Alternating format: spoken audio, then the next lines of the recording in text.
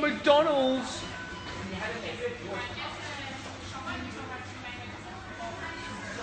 Oh yeah, shove that meat in your mouth, oh.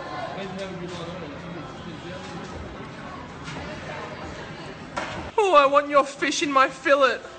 Oh yeah, stick it in. I'll give you a quarter pounding. Oh, I wish you were biting my french fry. Oh, I love a good McSlurry. Oh yeah, oh yeah. Oh, yeah. Oh. Total 109, please. Here, that's me, number 69. Give me that special sauce.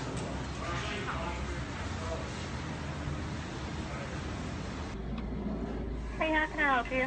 Hi, can I please order a big sloppy hard mac and a happy ending meal? Sorry, what was that? A big sloppy hard mac and a happy ending meal. Hi. Double cheeseburger. What's wrong? Oh. Right.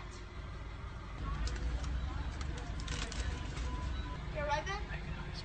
Oh.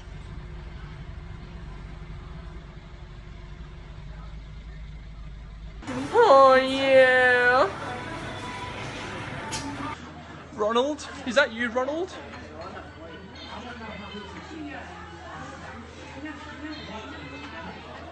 Hell yeah. Ronald?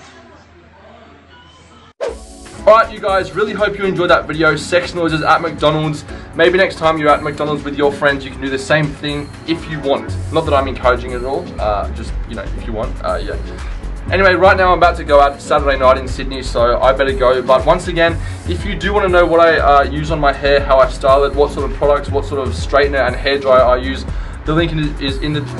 Fuck! The links are in the description. I'm with my boy right now, Ushan. You might remember him from a very, very early vlog I did about two years ago on my channel. It's called Busy Day Vlog. I'll link it in the outro if you want to see. It was, it's really cringe, but anyway. Um, but yeah, hope you guys did enjoy this video. My arm really hurts. I'm about to go out. It is Saturday night in Sydney. I'm wearing some random shirt I bought today. So yeah, um, hope you guys are enjoying this marathon. Um, this is the last video for this week, and I'll see you on Monday.